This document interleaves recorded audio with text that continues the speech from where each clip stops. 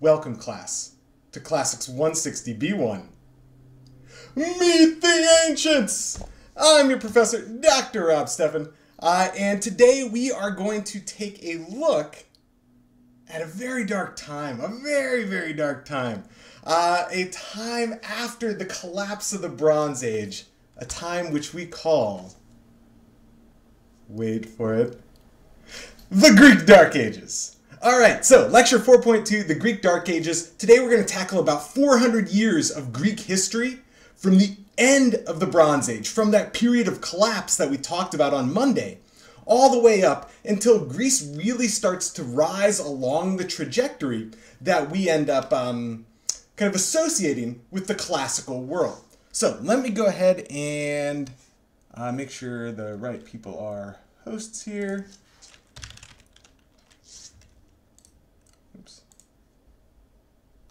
There we go. Um, and Heather, kind of moving forward too, uh, if, if I kind of have started in on my thing, uh, I'm delegating uh, host responsibilities, if it's possible, to, uh, to Karen. So always feel free to just shoot her a, um, a, a message, and she should have the ability to do that for you as well. Cool? Cool. Okay, Anyway, the Greek Dark Ages, a very dark time. I know this is going to be a scary lecture for a lot of people when society is collapsing and oh, bad things are happening. But first, let's see what we got on the docket for today. All right, so we are going to start with a few announcements. You guys know the deal there. Uh, we are going to recap the collapse, both in terms of what's happening and then some explanations for why it's happening. Then, during the, the bulk of kind of the original part of today's lecture, we're going to do two things really.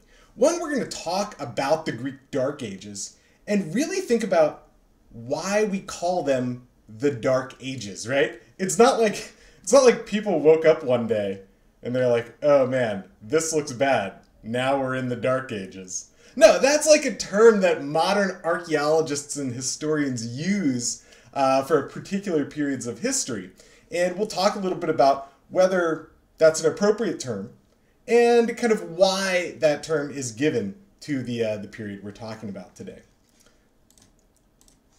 Um, and then what we're going to do is we're going to start to see a little bit of a little bit of light at the end of the tunnel. Okay. And so even though for a long period of time things aren't looking that great, at least in terms of complexity, social complexity, what we get on the far side of things is something that had never been seen before in the Greek world. And so right when we come out of the Dark Ages, almost immediately, we're given like the epics of Homer, right? The Iliad and the Odyssey. And so we're going to ask some of these major questions that historians and philologists and archaeologists and classicists have been asking for about 200 years about what's going on with that, why it's occurring, and how it's occurring. Okay, so let's go ahead and see what we got in terms of announcements today. You guys know the deal. Put this thing in speaker view if you can. You can see me, you can see the slides. If you have any questions, go ahead and direct those uh, to your TA, and they should be able to answer them or funnel them to me. Um, the reading response uh, is due Friday, so make sure that you've started looking at that. You're going to be reading some excerpts of Homer. Um, and then also just kind of keep in the back of your mind uh, the research proposal. So we'll be talking a little bit more about the next step in that semester long project on Friday. So start bringing a few potential ideas with you to class. And then actually what we're going to do in class is we're going to start, I think, kind of splitting these Friday sections. Last time it was 40 minutes on the project and 10 minutes for, for the honors project. We're going to do it a little bit more evenly. So uh, if you're not doing the honors thing, totally cool. You'll get out of here a little bit early if you are doing the honest thing, you'll stick around for the whole class, and that's how that's how we will approach that. All right, so let's go ahead and recap the collapse. When we left off last time, no, not when we left off, when we started last time, Bronze Age civilization was thriving, right? We got the Egyptians in the Nile River Valley. We got all sorts of different Mesopotamian cultures. We got the Minoan culture on the island of Crete and the Cycladic Islands. And we have the Mycenaean culture on the Greek mainland. And we call these like, you know, we call this the rise of civilization because things are getting very, very complex in terms of urbanization and monumental architecture and political hierarchies and religious hierarchies and technology and writing and all sorts of things that didn't exist prior to the emergence of these cultures. And that started right around 3000 BCE, and then all right around the same time, from about 1200 to around 1100, things start falling apart all over the place, right? So this is what it looks like prior to that, back in the 14th century. Egypt's thriving, the Mycenaeans are thriving, uh, we got the Hittites thriving over here, all sorts of different kingdoms in the, the Mesopotamian region. And then during that 12th century, we end up seeing destruction at a lot of different sites, right? So a bunch of different Mycenaean sites, Minoan sites, Hittite sites, different sites in the Levant, sites in Mesopotamia, and then a bunch of battles in Egypt as well. And as we go through kind of the outcome of those battles, right? We see the Minoan palace at Knossos destroyed. We see the mighty citadel of Mycenae, right? This thing is legendary for its impregnable walls. It is burned to the ground. The Hittite capital at Hattusa, even though it's really far inland, this thing is sacked as well. And legendary Troy, right? The Greeks besieged this place for 10 years, according uh, to the Homeric epics. And even then, even then, Troy is destroyed twice during this period that we're looking at here. Now, Egypt doesn't get destroyed, but this does seem to usher in a period of political instability, what we'd call the Third Intermediate Period, shortly after the invasion of what Egypt calls the Sea Peoples. And we talked last time about how Ramses III, the, the, the pharaoh in charge of fighting this invasion off, he writes this big story, right, about how the Sea Peoples had defeated everybody else they'd come in contact with, but when they came to Egypt, they never stood a chance. Now, we see that maybe that's not quite true. Even if Egypt did win, it did descend into political instability shortly afterwards. Um, but we do see that, that Egypt was able to, uh, to stave this off to some extent. But scholars right, have latched on to the idea of the Sea Peoples, of these kind of naval marauders, a group of diverse people from around the Mediterranean laying siege to well established cities. And what we talked about, right, was that almost certainly this was a part of what was going on in the 12th century BCE. But as we've started to look at things a little bit more carefully, we've started to think that maybe this isn't the entire story. That it leaves all sorts of questions kind of unanswered, right? Like, why are people leaving all at the same time to start this marauding, right? Why are well established cities with massive fortifications like Mycenae, why are they unable to fend off like a kind of hodgepodge group of invaders? How is it that city states really far inland, right? Like Hattusa, the capital of the Hittites. How is it that they're able to fall prey to whatever's going on during this period as well? And so, what modern scholars have done over the past couple decades is start to look at a more complex picture of collapse. So, we've got the invasion part down, but what they've started to look at are things like pollen right? And what pollen can do is that can tell us about things like uh, agriculture, right? And the ability of these people to feed themselves, that sort of thing. So we'll, we'll touch on that in just a second. Uh, let's go ahead and take a look at the way that this cycle actually works here, right? Um, so with the Sea Peoples, the story would be that the Sea Peoples invade, and not only does this pose a physical threat to the people in the city, it causes systemic problems. And so what we're discussing here is something that we call like a systems theory of collapse. And so what happens, right, is the trade routes are disrupted. This means that city-states have a very difficult time obtaining tin, which if you remember is one of the core components, right? One of the two components that's used to make bronze. And when you don't have tin, you can't make bronze. You can't make your really effective weapons. You can't make your really effective tools and that makes you more vulnerable to invasion, which leads to more invasions. And we can see here this vicious cycle of collapse beginning. And then what we talked about, right, is going back to this idea of pollen here, a bunch of other things that were happening. During this century, the kind of frequency of volcanic in earth uh, volcanic eruptions and subsequent earthquakes was more prevalent in the pre that at, like during this set of 100 years than any time during the past two millennia.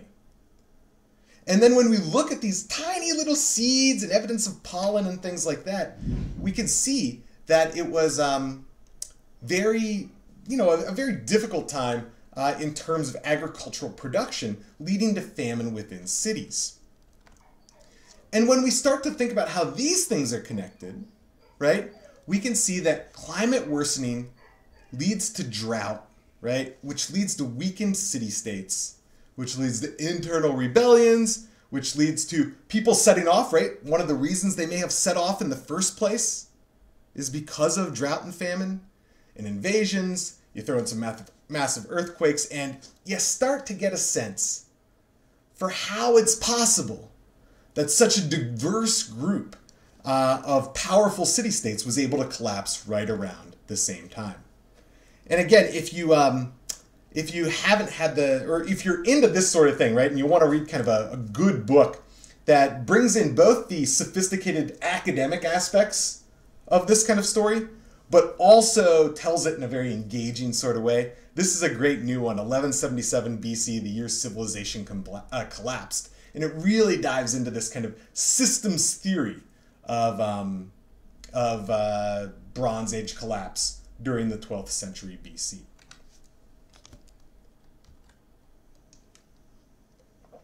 Okay, so what I'd like to do now is start talking about the subsequent period. And this is, period is traditionally known as the Greek Dark Ages. Now, again, when we say the Greek Dark Ages, right, or even when we say the medieval Dark Ages, right? This is not a period of time that, like, th- th- this isn't an ancient term, right? It's not like the Greeks living at this period of time started referring to themselves as living in the Dark Ages.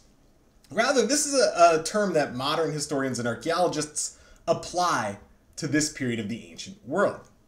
And very, very recently, um, over the past maybe 10 or 20 years, scholars have really started to ask whether this is an applicable term, right? It's very pejorative, and kind of meaning that it it doesn't make the people who lived then sound very good, right? It makes them sound rather unsophisticated. Um, and so think about this for a second, right? Let's imagine that one of the main changes was that people stop living in stone houses and they start living in wooden houses. How is that going to look from the perspective of an archaeologist? Well, for one, it's just a lot easier to find stone remains in the archaeological record. Wood decays, right? Uh, and so this isn't necessarily exactly one of the characteristics of the Dark Ages, but I want you to think about that as an example and why people have started asking this question are we really in a time of reduced complexity? Or is it perhaps cultural changes that make these kind of cultures and civilizations a little bit less easy to identify in the archaeological record? So, kind of have that floating around in your mind. And now that you do, I'm going to argue that it actually was a period of pretty reduced complexity. so, let's go ahead and take a look at some of the um, some of the characteristics uh, of the this period of time, right, from around 1200 uh, to around 800. So first of all, we see the palatial um, cultures of the Bronze Age disappear, right? So the Minoan palace at Knossos, no more Minoan palaces. The Mycenaean palace at Mycenae, no more Mycenaean palaces, right? And what we're kind of imagining along with this, right, one of the implications of no longer having these palatial structures is that the economy changes as well. So rather than having this sort of redistributive economy, which we talked about, right, where people send goods to the palace, and then the palace redistributes goods to different groups of people, right? Instead, we have much more localized economic networks. Okay, so Mycenaean and Minoan culture disappear. Monumental architecture disappears, right? So what you're looking at here, right? If you, you this should look semi-familiar, right? We spent some time talking about the Minoan palaces, especially the one at Knossos. And this is that aerial view, right? Kind of the architectural plan. And you can kind of see why they associate it with the labyrinth. Uh, so this dates from around, say around 1900 to around 1200-ish, okay? And then what's on the right is the biggest structure from the Dark Ages. So a period of about 400 years from about 1200 to about 800. This is as big as it gets. It's a burial. Okay, so it's a, a burial with a cover over it. Um, so yeah, what we're looking at here is not particularly complex compared to what we're looking at during the Dark Ages. All right, but that's all about big stuff, right? That's about the big architecture there. But when we look at settlements, when we do find the places that people are living, um, we see that the size of the average size of a settlement is reduced. So you can think about that in a couple different ways. If you drew a line around the outside of the settlement, right, wherever the city walls are, that could give you an average size. You do that in the two periods, much, much bigger in the Bronze Age. You can kind of count up the number of houses, something like that. Much, much greater in the Bronze Age. Any way you slice it, the settlement sizes during the Bronze Age are much, much larger. And somebody asked a question in the chat, right? Like, well, if they, what if they did live in wooden houses? We don't really think that's the case for the, the Dark Ages here because the houses we do get are still primarily made of stone. But archaeologists have gotten pretty good at identifying these things. And what you're able to do, the way that you find a wooden house, and this happens very frequently actually in Britain during the Iron Age, um, is you look for not the actual walls or the actual remains of the house itself, not the actual structure, but rather the imprint that it made on the land. And so what you actually end up finding are post holes because they were dug into a certain type of soil. And then the house existed for a certain amount of time. And then when the house decayed and the wood decayed, it got filled in with a different type of soil. And so you can frequently find these if you do a good job excavating and you clear off a level. What you can end up seeing are these circles that have a different consistency of soil and a different kind of color of soil, that sort of thing and then you excavate those and you can get the outline of what the house would have looked like. So that's not exactly what's going on with the Bronze Age and the Dark Age um, in Greece, but that's how an archaeologist would approach that sort of question. Now, it doesn't totally fix the, uh, the potential problem though, because even though archaeologists have the ability to do that, I mean, think about it. That's still that's still a heck of a lot more difficult than finding like nice stone foundation walls for a house. Okay, so settlements get smaller. Not only does each settlement get smaller, right? And somebody's right on time with the question are populations getting smaller? We think the answer is yes, absolutely, because not only are settlements getting smaller, but we're getting fewer of them. Okay? So you can imagine a scenario where population doesn't change where the settlements get smaller, but you get a lot more of them, right? Same number of people living in a greater number of, of small sites. But that doesn't seem to be the case. This is a little bit difficult to see.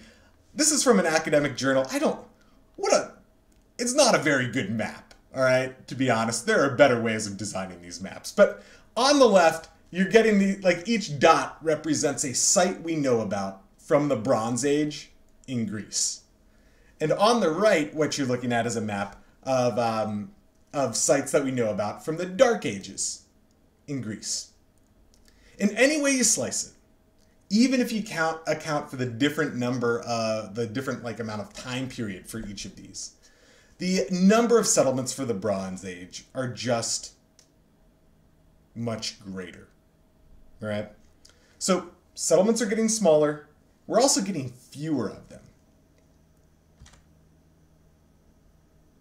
Now, one of the implications of this, right? No palaces, smaller settlements, more dispersed settlements, is that we no long we, we kind of think there's no longer a, a centralized government that's controlling things. And I talked about this with regard to the economy, right? Where when we looked at the Bronze Age model, it's farms that a palace controls and that people send the goods to the palace and then things are redistributed. And what we think about is for the Dark Ages, it's more happening either farms are becoming self sufficient or very small communities are working together to exchange goods.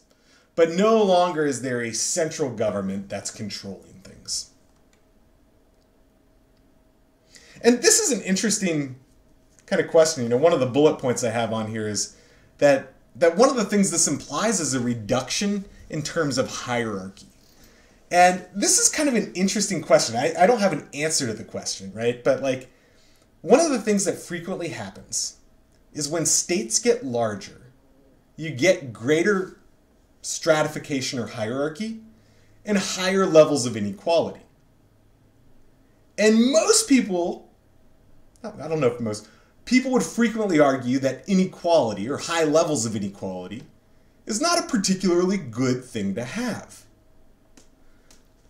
And what we see here is that we think that inequality actually diminishes, hierarchy diminishes, as we lose centralized government during the Dark Ages, and house sizes become a little bit more similar, settlement sizes become more similar, smaller, um, and you would imagine a concurrent reduction in inequality. And so, one of the questions for you guys, right? And again, there's not a, I, I don't think there's a right or wrong answer to this, but whether that's a good thing or a bad thing, right? Would you trade a reduction in terms of maybe the total amount of stuff in a culture or the sophistication of like kind of the major monuments of a culture, uh, the the economic benefits of some sort of redistributive system, would you trade that, right, for reduced hierarchy and lower levels of inequality? So, interesting, um, interesting question, and again, one that that I don't have an answer to, but uh, it's it's an interesting one to think about. All right, so one of the other things is we have graves, right? We have cemeteries from both of these periods. And what we end up seeing is that things get a lot poorer during the Dark Ages. So when we're digging up Bronze Age you know, graves. This is the Mask of Agamemnon, of course, from Mycenae. Um, and, you know, it's one of several golden masks. But even when you move away from the really, really elite burials, the sheer number of grave goods and the sophistication of the things included in those graves is much greater during the Bronze Age than it is during the Dark Ages. And so, again, if you look at it on a per capita level, right? just the average amount of stuff in each grave from each period, things get a little bit worse in the Dark Ages. Pottery changes, right? And you could say this could just be stylistic, right? But you could also make the argument that people are actually losing some of the sophisticated uh, technology or styles um, from the Bronze Age. So, one of the things that's very frequent in the Bronze Age are these kind of like floral and faunal motifs. So, you remember bull's heads from Crete, right? This is a very popular one as well from Mycenae. Uh, octopuses on the vases, right? But iconography. They're painting things on there that we can recognize as like people and animals and things along those lines. When we move to the Dark Ages, we have a whole new style of pottery that we call proto-geometric. You don't need to remember that term exactly. But we'll see geometric pottery later, and that's actually pretty darn cool. But Dark Age pottery, I don't know, it's not the most exciting thing in the world. Okay? So again, you can argue that, hey, that's just a stylistic choice, right? That doesn't say anything about the sophistication of a culture. You could argue otherwise as well, that you really are losing some ability to produce um, kind of more complex styles of iconography. Long distance trade diminishes. Okay, so this is a big one, right? We talked about this with the Bronze Age collapse and how these invaders break down trade networks and people have tough times obtaining tin and making bronze. The same thing kind of happens for the next 400 years. After the breakdown of those trade networks, it doesn't really get going again until around 800 BC. Right? So for 400 years, those long distance trade networks are not maybe 100%, but they're very significantly reduced. So, as an example, one of the cool things that you get during the Bronze Age is you get a heavy influence of Egyptian material culture in the Greek world. So you can go excavate a site in Greece or on Crete, and you can find like Egyptian things, right? Uh, so this is an example of a little uh, scarab seal. So this is something you know you you put that into clay or wax to seal something um, with kind of the the mark there, uh, but it looks like a little scarab beetle, very clearly from Egypt. And what ends up happening is when you move to the Dark Age and you look at the material remains of those sites, all of it comes from a very, very small radius, right? Maybe you're trading with the village next door. Or maybe you have one thing that comes from kind of the slightly larger city state 100 miles away. But there's much, much less in terms of imported goods than there was during the Bronze Age. Okay. And this is a big one here. Writing disappears. Right? So, for the Bronze Age, starting around 1900, 1800 BC, we've got this like linear A and linear B writing. People are writing things down. There's not, eh, obviously, literacy rates are very, very low. It's a specialized group of people who know how to write and who know how to read. But people know how to do it. And they're using this for all sorts of different things, especially when it comes to record keeping. And then, somewhere around 1200, during that 12th century, people forget how to write. And for 400 years, there is no more writing in Greece. And this is kind of wild here. So think about this for a second, right? Um, anybody, can anybody give me an explanation for how or why this might happen? Like, how does a culture just forget how to write for 400 years? So think about that for a second. Feel free to throw some things in the uh, the chat there, right? I'll give you a minute or two. Actually, I don't know if I have a Heracles slide in this one. So throw some things in the chat. I'm gonna go figure out. I'm gonna figure out for myself what color Heracles is today, um, and uh, then we will pick it up again in like hmm, 60 to 90 seconds.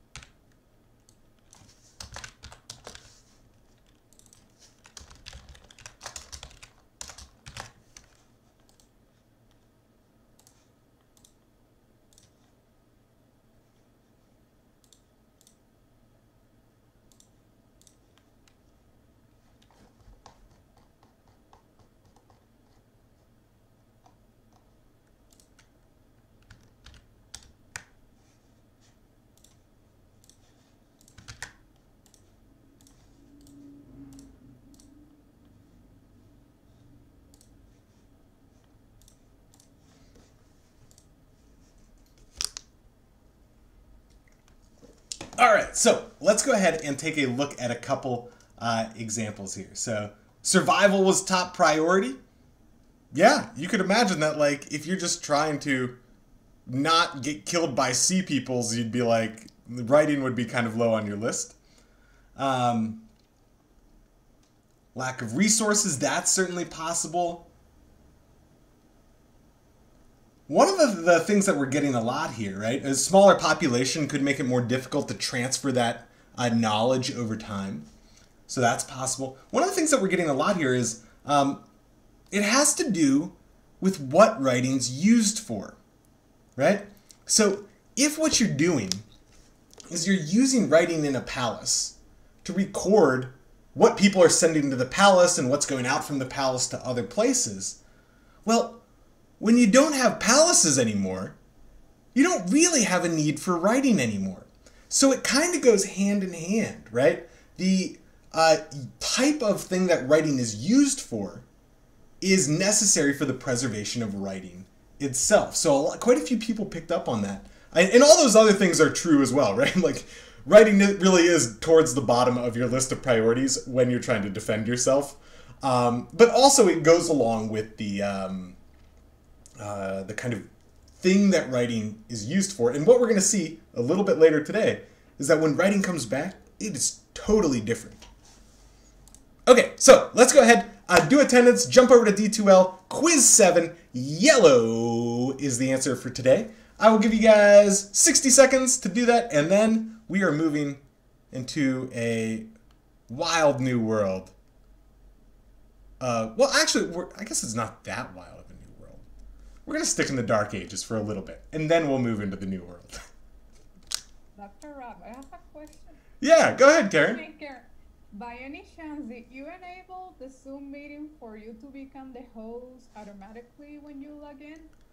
I, you know what? I, I don't know. That, that is happening. I know I was making you the host at the beginning, but then when you told me I could remain the host, I stopped doing that, but it's happening automatically now. And so I'll look at it. I haven't changed anything uh, yeah, on I'm there. Not either. So, yeah, but yesterday, you know, that is what's going on. That's why I didn't make Heather, you know, like a co-host because I cannot do that as a co-host. Here's what I'll do. Um, I think from now on, what I'll do is just when I log on, first thing, uh, like first thing I'll do is just make you the host. Um, and yes, I don't have you told me, like just being the host for the class, but that is happening automatically. Yeah, because co-hosts can't create new co-hosts, right? Yeah, yeah. Okay. I just wanted to let you know that I was not the one. You know. Yeah. no, no, no. You're doing an awesome job. I, I, I don't understand why sometimes I'm the the host and sometimes I'm not. I, I kind of thought it was like maybe the first of the co-hosts to like sign in. That person would become the official host, but who knows? Anyway, I'll, I'll like keep that as a thing to, to do. Uh, first things first. Okay, so I have painted a pretty grim picture of um, what's been going on in the Dark Ages. And what I'd like to do now is go back to that one little burial, right, that we saw at the beginning. Remember when I compared the uh, the Minoan Palace to the largest structure from Dark Age Greece? We're going to take a look at that largest structure. Uh, and this is known as the Heroon. That's how you say this word. The little, like, uh, the dots above the O mean you pronounce it as two syllables, right? So instead of Haroon, it's like Hero on. And basically, what this is a fancy word for, right, is like the hero's tomb, a, he- a heroic tomb of Lefkandi. And it dates to just after 1000 BC. Now, what you're looking at here, right, is a map of Greece, and I'm just going to keep showing this to you. Maybe not this exact one, but Greek maps again and again and again. Because it's a complicated place. There are islands everywhere, there are peninsulas everywhere. Um, a couple things that you're going to want to kind of keep in mind. This peninsula right here is known as Attica, and that's where Athens is. The giant blob to the southwest here is known as the Peloponnese and that's where Sparta is. And then up here, there's a little kind of island or peninsula, depending on whether it was connected or not at the time, known as Euboea in ancient Greek, or Evia now. And this is where the site of Lefkandi is. Right, so a little bit away from what's been going on in Athens. And then this region right in here, known as the Argolid part of the Peloponnese, that was one of the most like kind of um, intensely populated areas during the Bronze Age. So a little bit further away from that. And what we end up seeing uh, is this kind of heroic burial. And they think it's the burial of like a prince or a warrior or something along those lines uh, because he's buried with quite a lot of militaristic items. He's even buried with horses along with him. The horses actually look like they've been like driven into the tomb, right? So they like fell headfirst in there. It's kind of sad actually. Um, but this thing's about a hundred feet long. Uh, this kind of apsidal building. And so you can see a recreation of what this thing would have looked like in the 3D recreation over here. And again, we're talking about something that's really reduced in terms of scale and complexity from what came before it in the Bronze Age. And this is a picture of what the uh, what the thing looks like today. So, again, a far cry from Knossos or Mycenae. But when we look inside of it, we start to get some things that are showing that trade isn't completely dead, right? Sophistication in terms of art and jewelry and things like that, ceramics, isn't completely lost. So you get this really cool, like, ceramic centaur dude over here.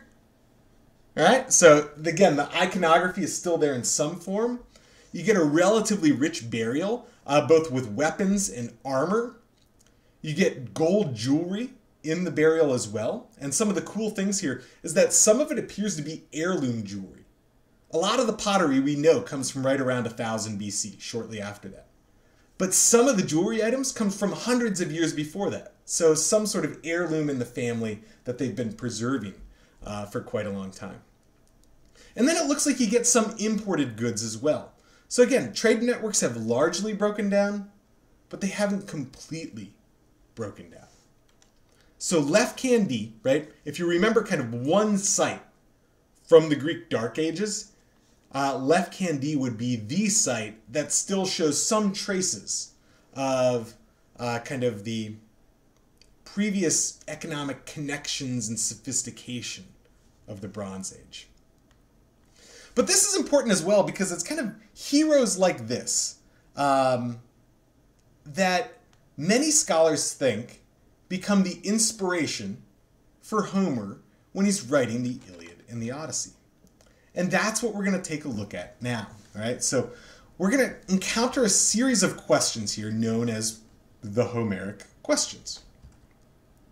Now, around 800, things begin to change again. And we're going to start talking about this on Monday next week. But the population starts growing, art gets sophisticated, people leave mainland Greece and go set up colonies all over the place. The Olympics begin, lots of different things begin. All right? It's a period we call the 8th century Renaissance.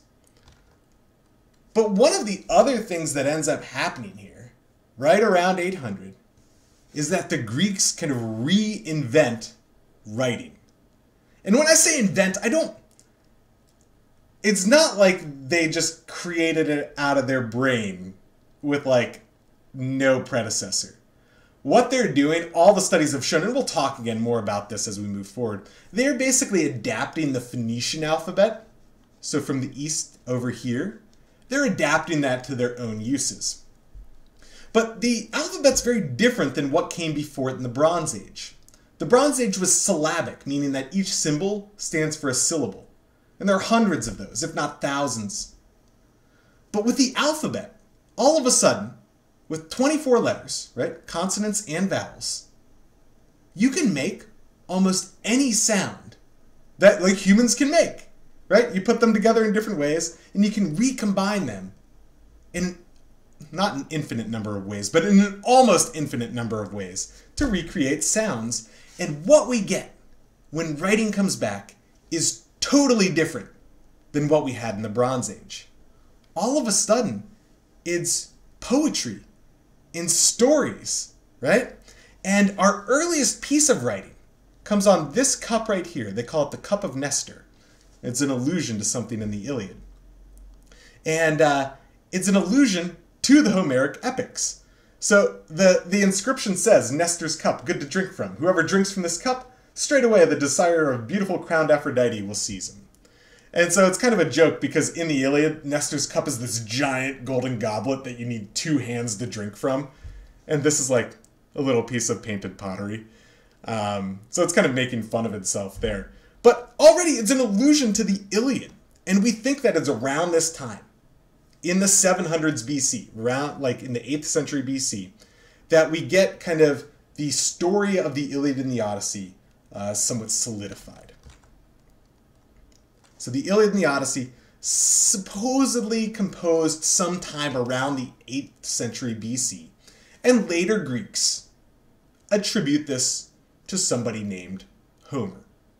Until later Greeks, Homer was this blind bard, right? He was this like kind of blind poet composing these epic poems.